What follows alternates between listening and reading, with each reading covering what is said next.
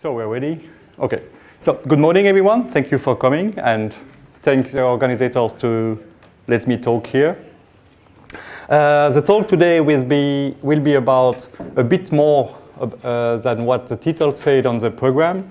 I mean, like not only PHP 7, but also which alternatives we have uh, to work with PHP, or which solutions we have now already to speed up uh, your PHP installation. Uh, shortly, uh, my name is Pierre uh, Joye or Joa, depending on which side of the Atlantic you are coming from. You can contact me on Twitter, email. You can try, but Aryan can, if you ask Aryan, he knows that I'm very slow to answer emails. So Twitter or IRC, you can reach me out. I don't, don't hesitate to, if you have questions, interrupt me anytime. And the first thing I would like to do first is I like to I like statistics. So I will ask you a couple of questions.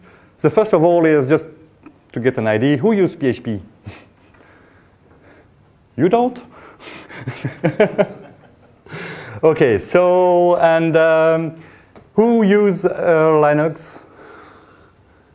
Okay, Windows too, from time to time? Yeah, we talk about that, okay. Who use cloud services already?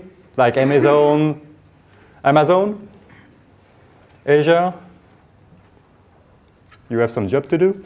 And other, other cloud services like Rackspace or what do you use? Okay. And uh, who already contributed something to PHP?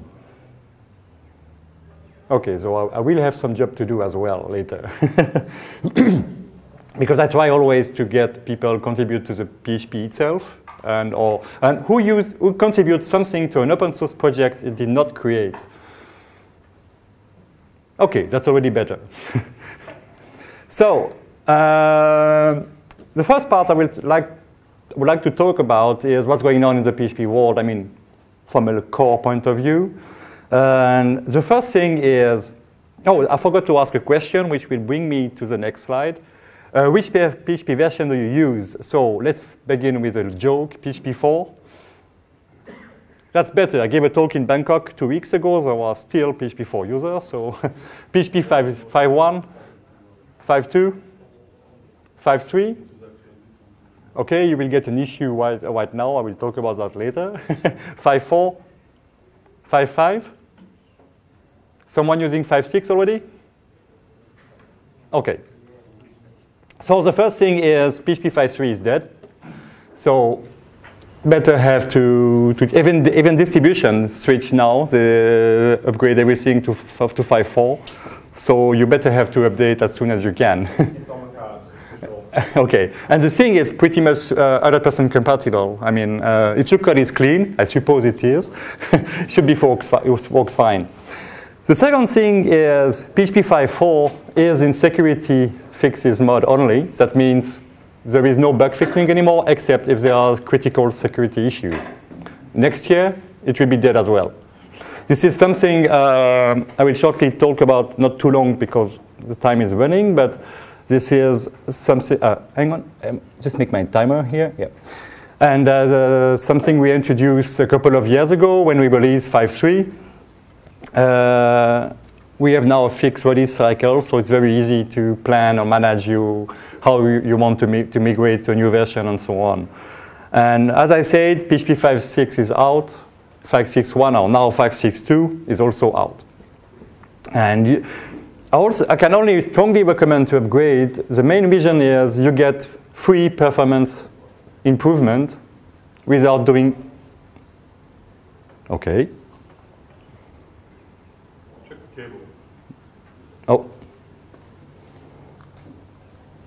without doing anything, sorry for the interruption, without doing anything in your code, I mean, like for 5.3 to 5.4, there are like 20% performance improvement.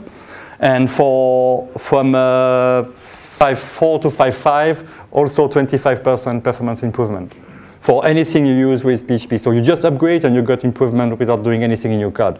Plus 5.5 has an opcode, opcode cache included. Who knows what is an opcode cache is, or who does not know? It's a caching system for the bytecode in PHP. So you don't, PHP doesn't have to.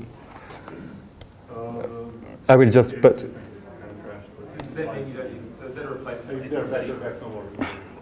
It's uh, something like PHP compiles your script, converts them to bytecode for, for the PHP engine, and it does that on every request.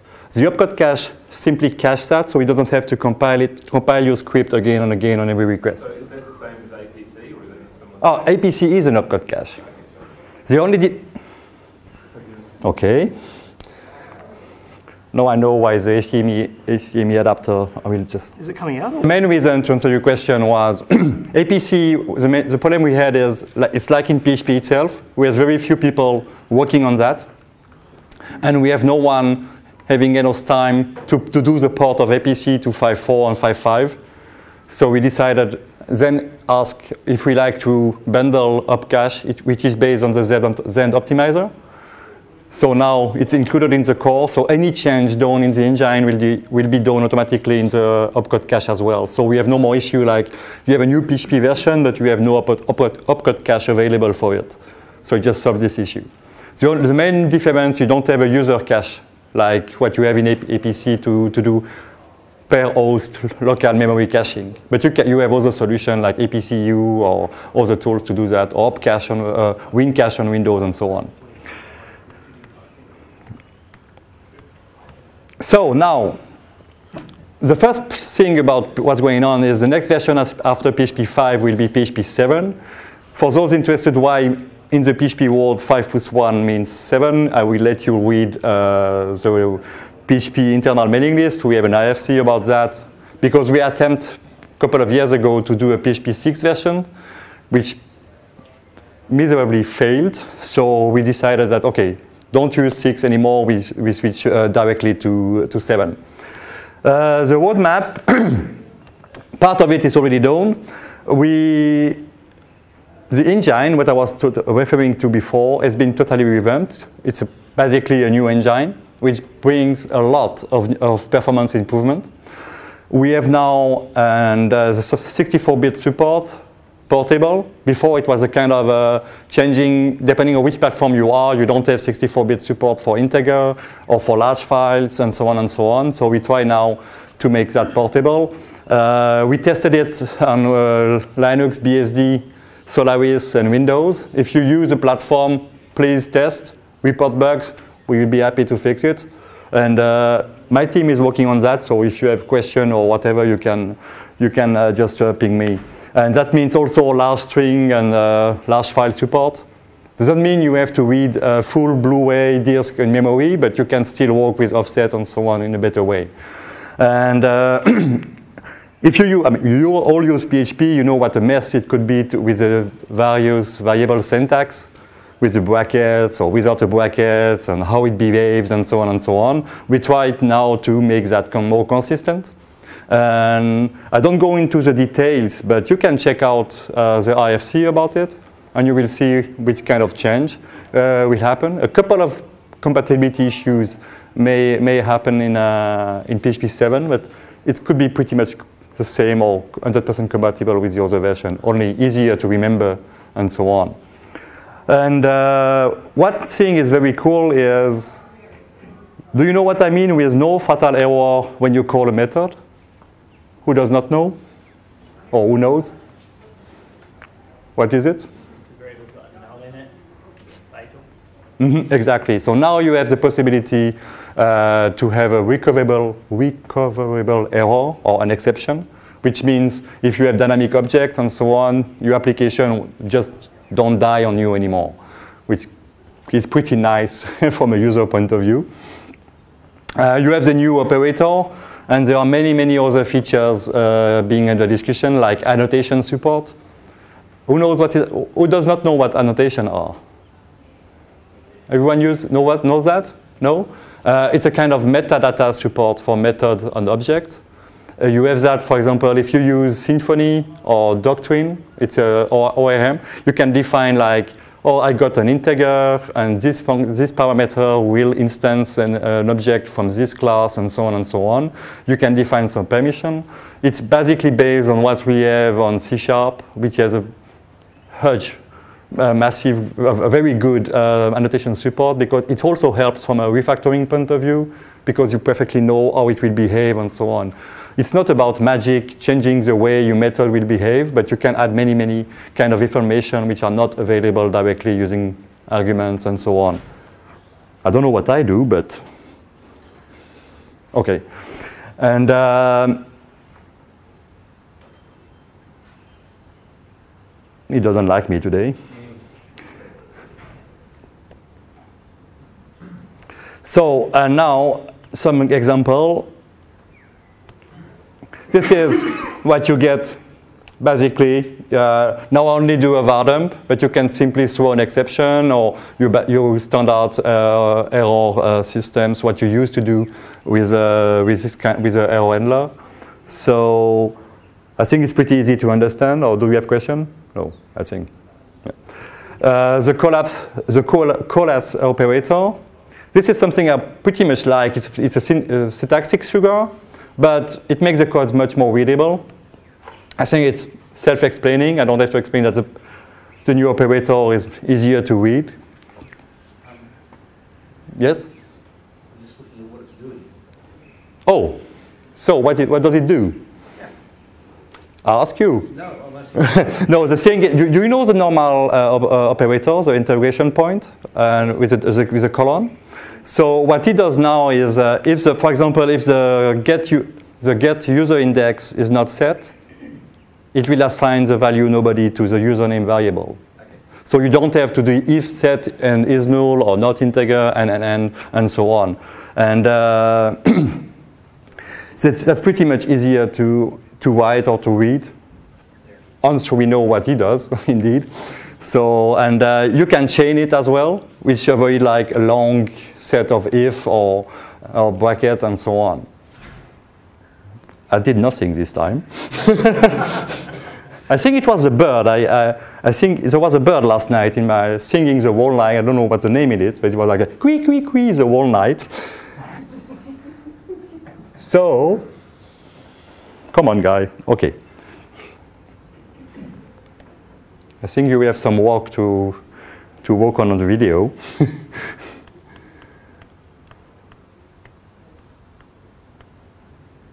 okay, and one big, big thing we have and is this is something we, uh, we have been talking about since many, many years, and the Facebook team stepped in. I'm sorry, it's uh,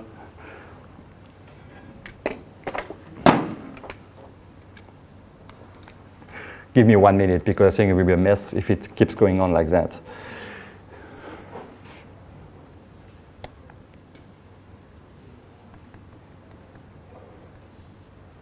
And I won't touch the desk anymore except the keyboard. Okay, so what I was talking about is we finally have a full specification of the language, or almost full. The Facebook team who works on HHVM, who knows what HHVM is? Okay, HHVM, I will talk about that in the second part. It's an alternative engine for PHP uh, implemented by Facebook. And indeed, for Facebook, at some point, it was interesting or easier to say we have to have a specification to know what PHP does, in which situation, which kind of errors for the syntax and so on, so we can work uh, easily together or white test and so on. And there are quite a lot now. I think they have 50 people working on HHVM, and from testing to like two guys wrote that the base of the specification. And as you see, uh, one of the big things about PHP not only that, for who, who do, does not know that, we are on GitHub, or we moved to Git. So you can do now, you can use Git, GitHub, do pull request, be for the PHP core, and uh, I think we can forget the deck. and uh, you can do your contributions there, including for the specification. That means uh, if you like to do, to give something back to PHP and you know PHP very well because you use it since many years and so on, feel free to, to go on, uh, do go on there and uh, submit some, uh, some new change or part are missing and so on. And what does it mean for PHP? If we have a public specification and it's open, we have more competition. And competition, especially in open source, is always a good thing. That means we don't have, if you use PHP, you don't have now to, to use only the PHP.NET version. We have many, many other versions. It's like flowing like the, frameworks. We have uh, almost one, one every week. So competition means clones. It's supposed to be a joke now, but uh, with a delay, it will be.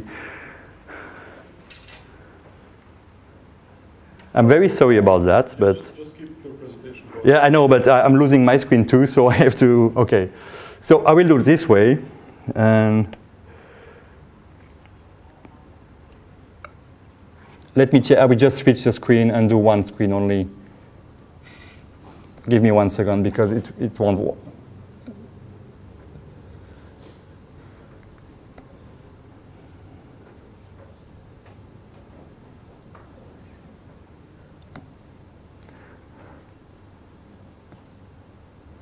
No, it doesn't look like that.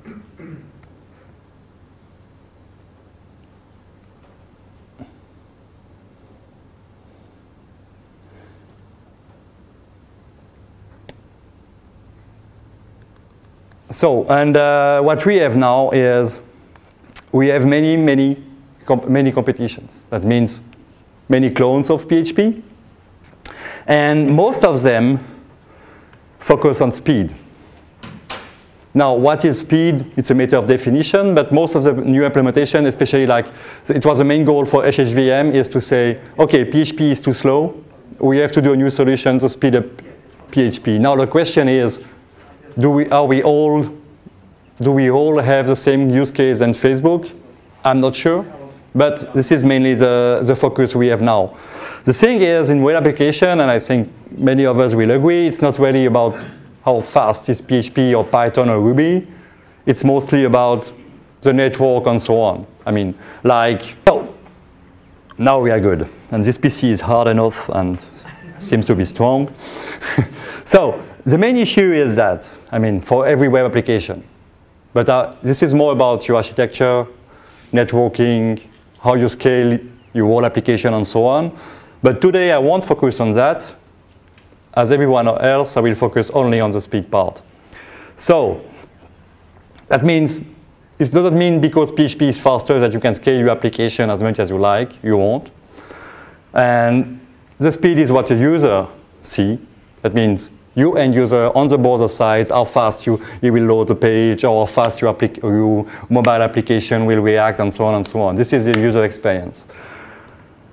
And scale is all about what you have on server side, like CDN, or you use Amazon or Azure, and so on and so on. My code, I don't use PHP a lot, so my code anyway is bad. I'm pretty much sure that most of yours as well. so the main goal in general to improve PHP speed or to improve how PHP is, or it's the same for Python or Ruby. There is some hopeless languages where you cannot improve things, but I won't talk about them. But uh, is improve your code. I mean, just improving your code, bring it to the, up to the newest version and so on, up, do the upgrades, like not sticking to dead, to dead codes and so on, will help a lot to speed up PHP. Because the engine works better with modern code and, and so on and so on. And uh, so, what do we have? The first project I would like to talk about is, uh, it's about QB. Who knows QB? Or who does not know, know QB? Okay, nobody. So that's what I thought. Nobody knows it. I tried to tweet about it, everyone, but it's a, it's a very, very interesting tool. And the point is, this is how it works. As you can see, you have a little comment, which may look like an annotation, for example. It just tells uh, uh, the QB extension, because it's basically only one single extension. You can enable it on Windows, Linux, just add it to your PHP and you have it. So you, you just say to the, to the QB extension, which has is its own engine, like the, the, the Zend engine or the PHP engine. It just tells, okay, this parameter will be an integer, 32-bit, or this one will be a double. This expression, you can use expression as well. It just tells which kind of type it, it has to use, which allow, uh, that allow it to do a better compilation to, to run in, inside the engine or inside the QB virtual machine, which is a little bit faster than the PHP one because it's very specific for a couple of things. Now, the best part of it is in implemented now uh, QBVM to native code. That means, let's say you have a function doing some statistics or data processing or image processing or whatever you need. You can speed it up, add what you want, and this function, a specific function, in this case calculate, will be executed in natively.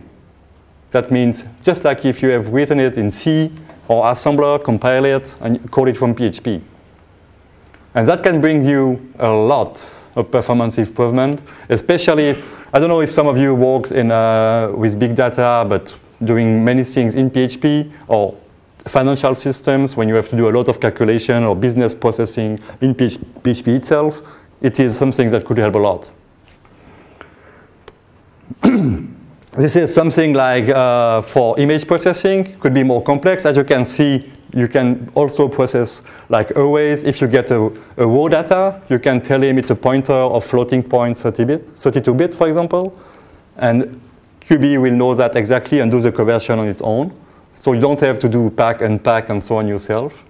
So that could be something pretty interesting. This is quite a complex example, but uh, it's actually, I do the GD library for graphics. I implemented some of the filters it shows that, ex for example. Some of the filters it did using QB and PHP are even faster than what we do directly in C using GCC. It's not, it's not on faster than on Windows because on Windows we also use uh, PGO or profile guided optimization. That means it's a multi-pass optimization and so on, so it's hard to be faster than that, but it matches that pretty, pretty well. I will show some benchmark comparing that to PHP 5.6, PHP 7, or HHVM. This is something, and the good point is you don't have uh, to change a lot your code. You don't have to change what you know already in your architecture. That means you don't have to deploy, to deploy a new PHP that you have no idea how it works. You don't know how to debug it, and so on. It's just a simple extension and some comments in your code where you need it. All the links are at the end of the deck, so you can take, wait, yes? Um, if you don't have a QB extension, presumably it just runs as normal. It's a, it's a, it's a comment. It's a comment in the code, so it, the, the comment will just be ignored. That's a good part of it. So if you don't have it locally, or you deploy to a customers who does not have it, it just works. It does not, does not cost, cost too much to do this modification in the code. I mean, compared to changing PHP or whatever you need. Any question until now? Or yeah. What if you mess up one of these um, type definitions? If you mess it up, Yeah, so, so uh, you have some warning or wrong declaration. okay. So you can, you can get uh, to know uh, what's going on and so on. And I think, excuse me, uh, we are talking now for PHP 7 to add annotation support and so on, which may simplify that. So we can have a better error handling for that. Yeah. But if you mess it up, that means you didn't test your code and you deploy without testing. Bad boy. so, yeah. Is it just helping with optimization or is it actually providing some static typing as well It is static at runtime? at, uh, at runtime, yeah. Because what it does is, I just go back to uh, one script. oh, I, I, I cannot move, but because I, I can move now. Okay. Haha, finally I'm free. so what it does is first it compiles the, the, the command to know what your script is going to do, which kind of variables it will need, and so on at runtime. Because all, this, all that, as I said before, PHP will compile it, compile it, get a comment, and you can access, access the, command, uh, the comment using the API. Like you have the, uh, the PHP API to, to just get like get command and so on with reflection and, and so on. And QB will pass this part, which is right before the function, define what it will, and then it will call the, the engine to know which bytecode are used, and it will convert the, bat- the, the then bytecode to QB at runtime, and then execute it if you like to, or if you enable for the just-in-time compilation, it will just do the just-in-time compilation as well. That means PHP bytecode to QB bytecode to native code. So if you pass a float to input, is that a compile error or a cast or a runtime error? It will, PHP will remain the same as before, Casting, yeah. That's something that may change in PHP 7. 7. We are talking about adding uh, typing thing for scalar, so you may define float, something, and so on. But it do the cast. So if you give a string with a custom string inside, which has nothing to do with uh, a float, your calculation may be wrong. but that's, uh that's the same now. So the we run the test using the full PHP test suite and did some, uh, some optimization for some tests. We didn't see any, any change in the runtime. So it's a pretty easy step to, to speed up your PHP. And this is another example. And this is a comparison. Uh, I will let you use Wikipedia for the function what you was using here to compare. But this, the first test is, I'm moving a bit. This is HHVM. So I will talk about it later. That's what uh, uh, Facebook did for their own use and then open source it, which was supposed to be the fastest, fastest and fastest implementation of PHP. This is QB, with in green the spectral, spectral norm n-body or Fannkuch Redux, Redux. Oh, I don't know how you say it in English, but it's a German name, so I say it this way. And you, as you can see, uh, this is interpreted. That means only you're running inside the QB engine. And this is the compiled version. That means from engine, engine to native code. So as you can see, one of the best examples is the red line as the n-body. Okay, let's forget PHP for a second. but compared to HHVM, which is supposed to be the fastest, we have quite, quite a big improvement. Now, the only problem we have, uh, QB has now is it does function level optimization. That means what is inside a function. But it is very bad, or it does not do anything at all for function calls. And one of the main bottleneck in PHP is how slow the function calls are. So when you do a spectral norm, you have to call the function recursively. That means every call will, will be slow. And that's where HHVM is very good, because everything is compiled to C or to natively. That means even the function call will be faster, because it will be a native call, a jump, so to say. But for everything else, if you, if you, will, if you will take you a simple method or function, this is the improvement you will get from PHP to QB only by adding a couple of comments and an extension. Uh, any questions so far still? Or, yeah? I've got a question about QB. Does, how does it handle uh, code that's generated during runtime? It does not. It doesn't? Okay, that's answers the question. Thank you. I mean, if I may say, I'm not a big fan of generating code at runtime. I mean, like using eval and stuff like that. So, but if you generate a PHP file, Yeah, generating PHP files. So you don't generate code at, at runtime. Okay. You don't. I mean, So do, do those PHP you do it on, I mean, theoreti- in theory you do it, but practically you don't. Because you generate a file and you load it with PHP. That means it will just work. Because you just load a PHP script with include or require. Yeah. So that means your script will be, co- will be compiled through the engine, then goes through the QB extension, and it just works like that. But does not work, or it may work, but you have to generate the command as well. You, I never tested it because I never use eval. Who use eval now? Not talking about that. Okay, we just wanted to be sure. But in, besides that, you just generate the command as well. So everything else is a standard PHP script being loaded by the engine. Yeah. Sorry? So theoretically, it should be just out of Even practically, I mean, it's, it works. Should be fine. Doesn't make no difference. Other question until now? How much time do I have? Because all, with all this mess, I don't know. 15? Okay. So I will speed up a bit. The other one, uh, which is quite different, is Zephir. Who knows Zephir? Okay, so we'll spend a bit of time on it. When you have uh, complex, more complex things that you cannot simply optimize within a function or a method, you may need, okay, let's do an extension. For example, back then we needed an extension for graphics because you cannot do everything in PHP. We have a GD, or for zip or OpenSSL and so on. Those are the kind of things you cannot do within PHP or the hash extension, which is all the hashing algorithm implemented there. You can do it in PHP, but the performance may not be that good. So at some point you need, okay, you have a huge piece of code that you have to, to optimize.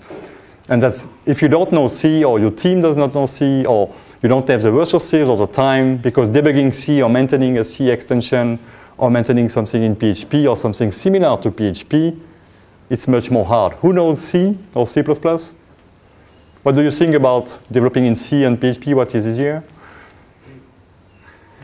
I have to agree because I do C only, but you may be the exception here for what for the other? You?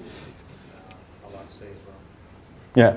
Okay, we're all C fans, so I have to ask someone else. But basically, I mean, if you debug, uh, if you, I mean, if you have a memory leak or random crash after 10 minutes or 10 days, it's somehow easier to do it in PHP than in C. I mean, we all agree on that, but I, I agree with you. The lower level I am, the, the happier I am too. So, but I'm not about to talk about that here. So, we have something called Zephir. Uh, what does Zephir is, it's a kind of a new language, very close to PHP, with a couple of other things like in QB, like static typing and so on.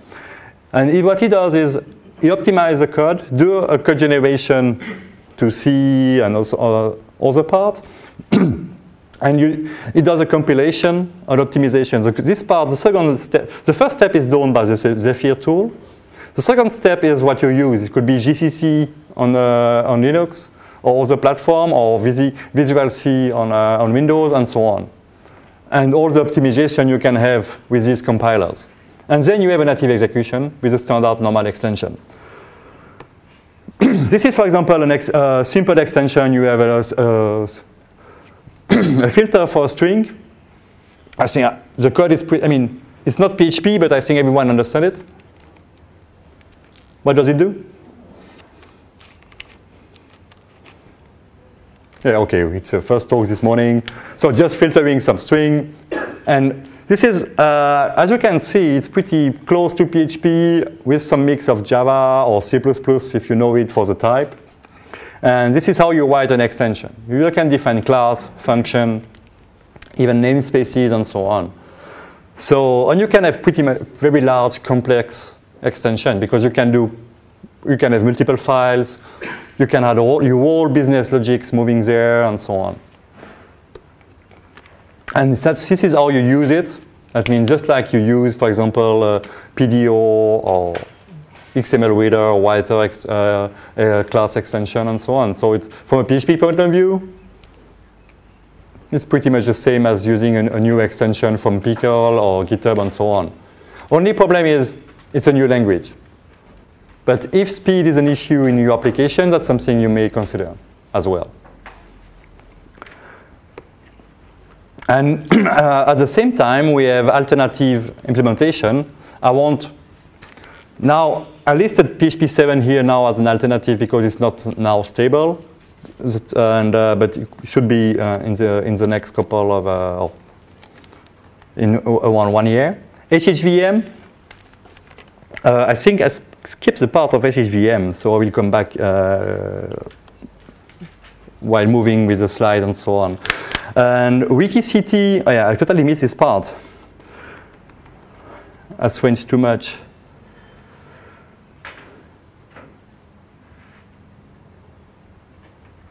Ah, here we go.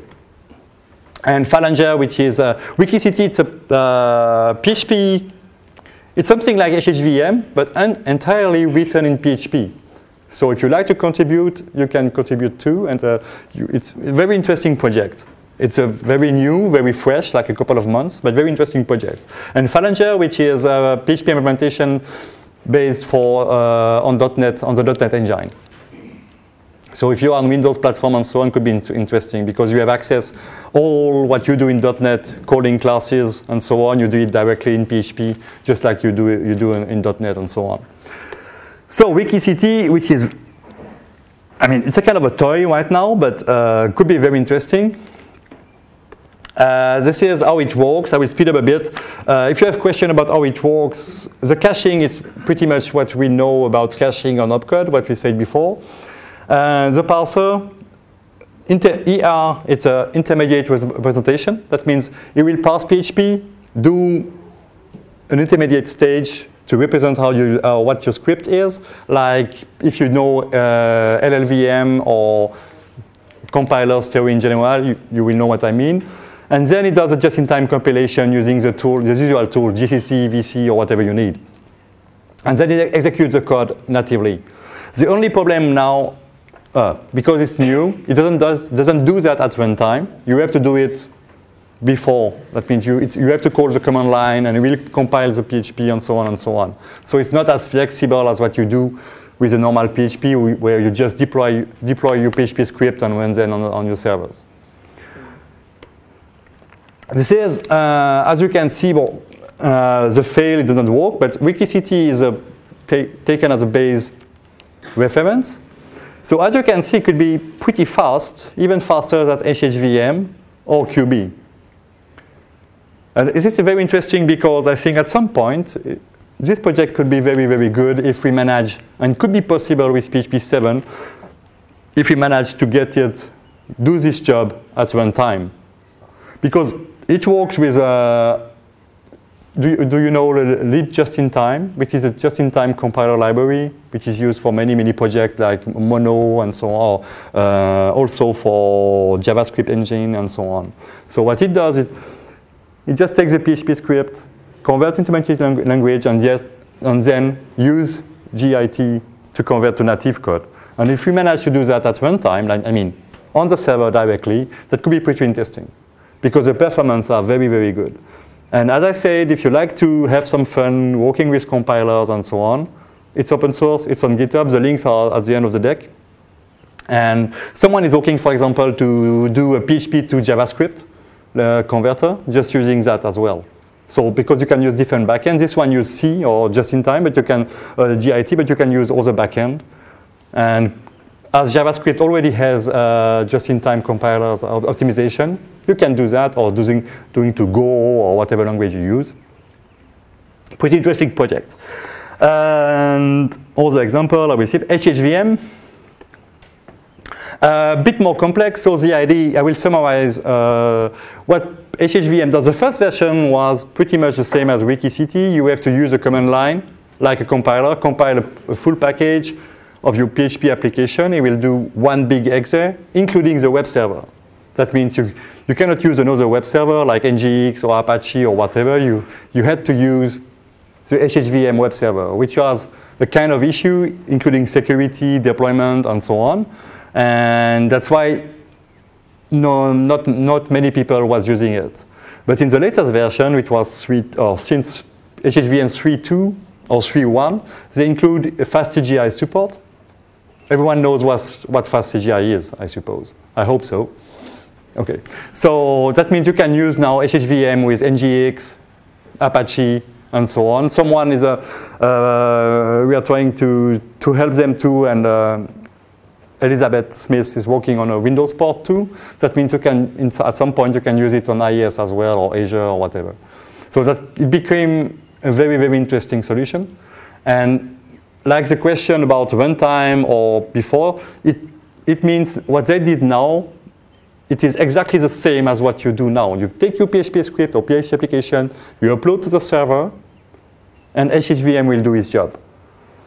What you may see, and that's a difference between the, the big difference between QB or HHVM or what we have with PHP 7 is HHVM needs to know what he has to optimize. That means it will take some time. Like the lapse between a standard PHP and HHVM actually running full optimized will may take like a couple of minutes on your web server because it will just let some requests came in, analyze them, profile them, see, oh, this is the part, this part is slow, I have to compile it first, this part I have to optimize, and it takes time. Because you cannot do it with five requests, especially for big application. So when you, if you use HHVM, think about it, the warm-up is very important because you may have some issue if you do an update. at some point, your server will go down because he has to do the compilation and uh, you have a, a huge load, but the servers may not be as fast as they used to be uh, right before the, the update. And now for PHP, uh, pretty much simpler. So PHP just compile your script to a bytecode, and if you have the opcache enabled, it will cache it and run it.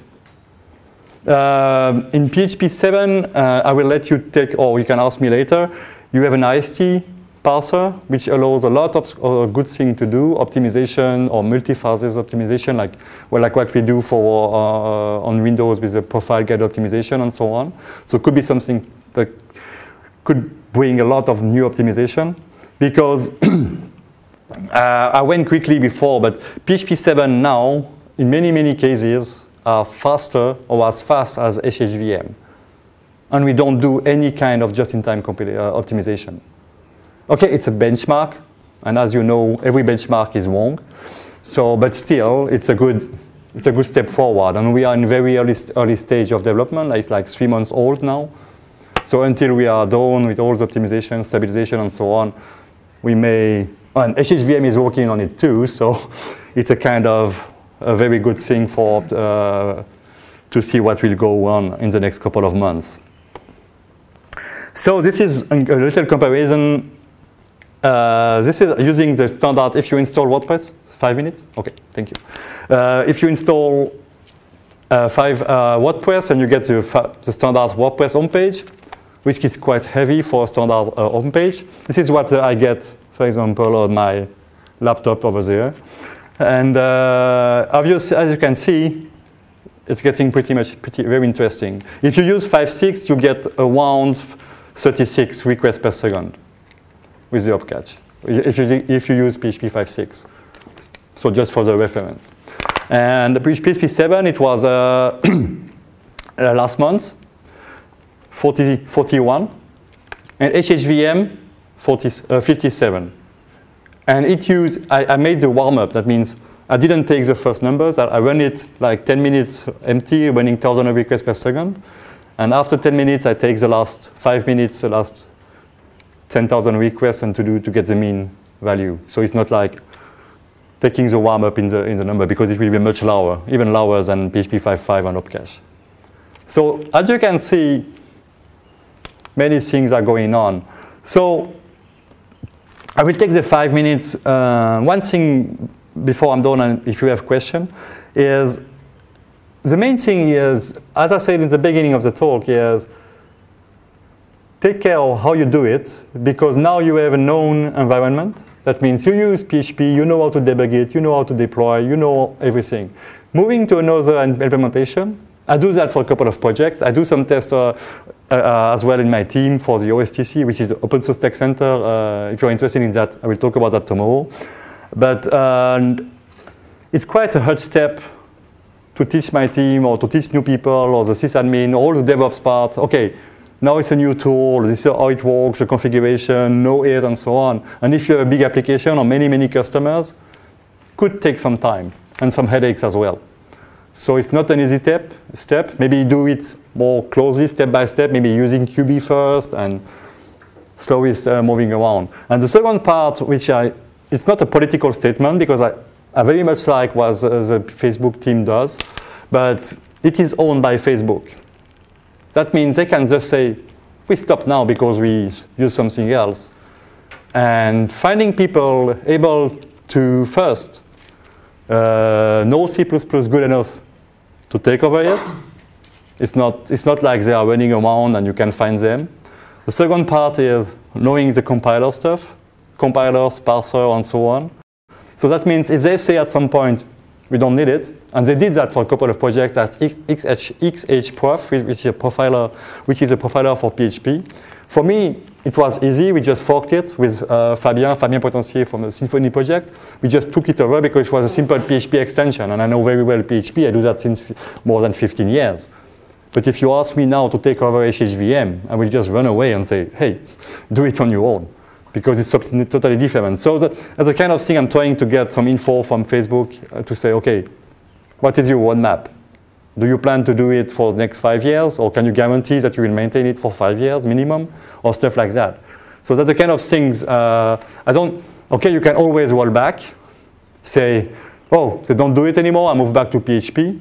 But for some customers, when you have very strong specifications, I work for insurances or banks, for example, I have to set up a fixed setup for three, four, five years, saying this is the PHP version I will use, this is the, database I will use, and so on and so on. And if the middle of the contract, you just lo- lose or lost one of the tool, you have to take care of it on your own. So it could be something you have to take care about.